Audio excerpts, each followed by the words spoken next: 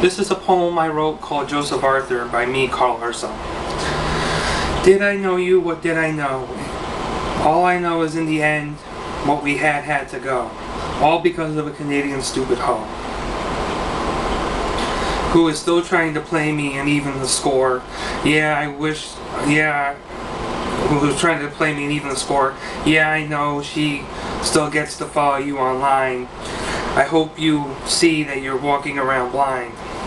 And the truth behind what happened to me and me almost losing my mind. And maybe you don't want to hear or have the time. But I thank you for your words, your last words, and not holding me to my supposed crime.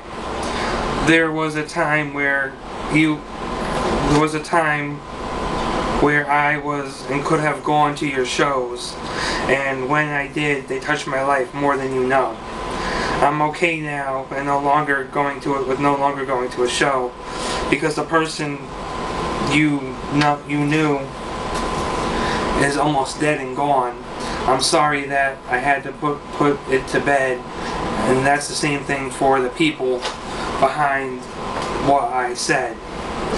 As for them, I hope they get what they deserve, as they still tried to bring me down and expose a nerve.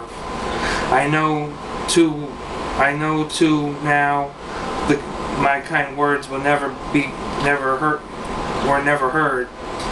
Thank you, I, but I thank you for your inspiration in music and art.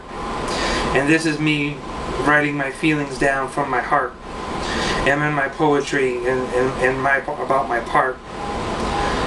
Anyways, I thank you for the love you gave to me in my life as I do my best to make it up to you and make things right and give my soul meaning and flight.